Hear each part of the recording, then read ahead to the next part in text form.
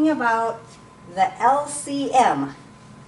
LCM stands for least common multiple.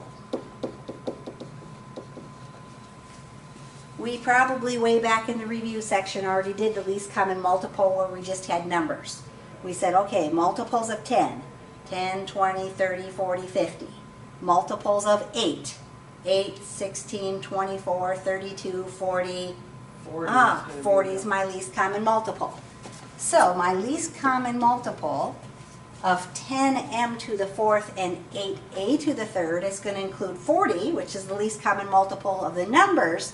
With the variables, you have to include all of the variables to the higher exponent because multiples are bigger. Factors we do smaller, multiples we do bigger. In this case, we have an m to the fourth and an a to the third, and we have to include them both. It's like when you're doing the least common multiple of 2 and 3, you have to take 2 times 3 because they don't have anything in common. Now number 8, if I'm doing my least common multiple of 12y squared and 9y to the fourth, the least common multiple of the 12 and the 9 would be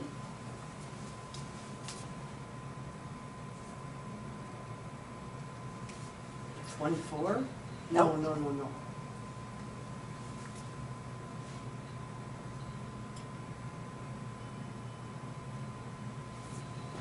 I don't know, I get my calculator.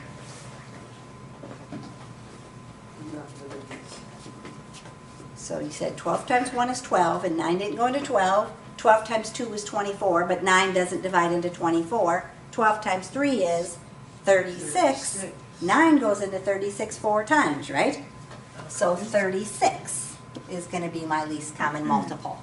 Now this time my variables are the same. So when I'm thinking multiples, I'm thinking bigger. So I have to use the bigger exponent, so y to the fourth.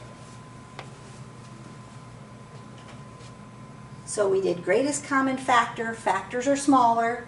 Here we're doing least common multiple, multiples are bigger.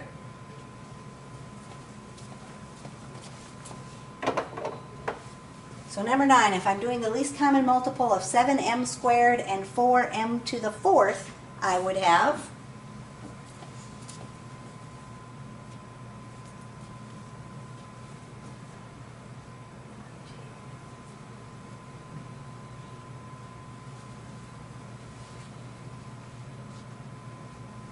Twenty-one. is 4 divided into 21? no, no. Nope.